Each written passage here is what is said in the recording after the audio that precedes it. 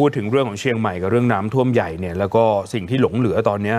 กองขยะขนาดมหึมาแบบอุ้ยภูเขาเหล่ากาค่ะจะเคลียร์กันยังไงไหว ให้คุณเกรียงไกรรัตนาไปดูเนี่ยนะครับ ว่าเขาจะจัดการยังไงกับขยะนี้ ติดตามจากรายงานครับ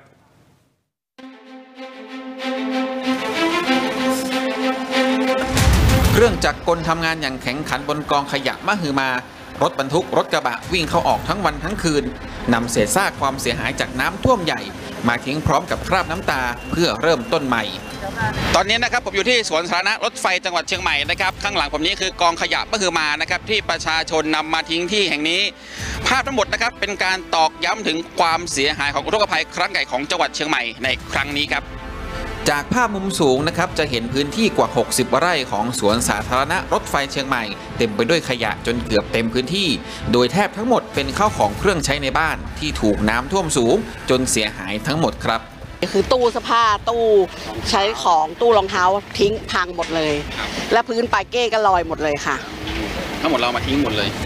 ค่ะปาเก้เนี่ยต้องต้องไม่ได้เก็บเลยค่ะ เสียหายเยอะอยู่ครับค่ะ คือถ้ารัฐบาลสามารถช่วยได้ก็อยากให้ช่วยได้ให้เต็มที่ที่สุดค่ะค่ะครับก็มองว่า9,000กิโลมันไม่พอแน่นอนอยู่แล้วค่ะครับแต่ก็เข้าใจรัฐบาลว่าก็ประชาชนก็เยอะเนาะพูดถึง ขณะเดียวกันในตัวเมืองเชียงใหม่นะครับยังพบว่ายังมีกองขยะอีกจำนวนมากที่รอกำจัด โดยทางองค์การบริหารส่วนจังหวัดเชียงใหม่ ประเมินว่าน้ำท่วมใหญ่ในครั้งนี้ จะมีขยะไม่น้อยกว่า 10,000 ตัน และคาดว่าจะใช้เวลา 3-4 เดือน ในการย้ายขยะเหล่านี้ออกจากเมืองไปที่บ่อขยะในอำเภอฮอดจังหวัดเชียงใหม่ได้หมดครับ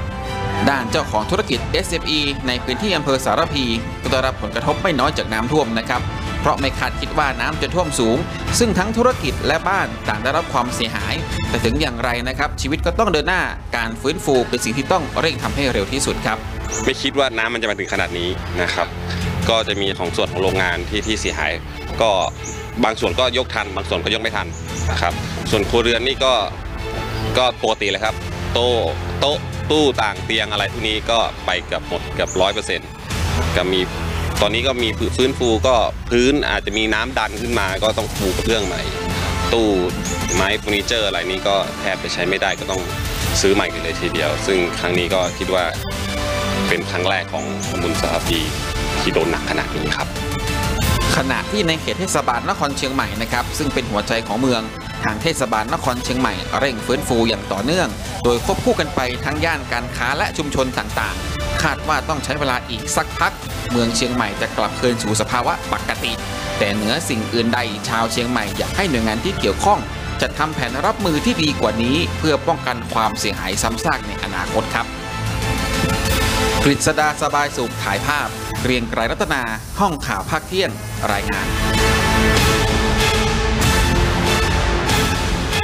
พวกคนเป็นแม่จะยิ้มเลย เห็นไม่ชอบว่าแม่เนี่ยซื้อนะไอเคยเห็นไหมไอตั่งเตียงโซฟาที่มันเป็นแบบไม้เนื้อแข็งอะไม้เออไม่ว่าอะไรจะไปทุกซีซั่นไอ้นี่ยังอยู่ของของแม่ทนที่สุด อยู่มาแบบว่าหลายยุคหลายสมัย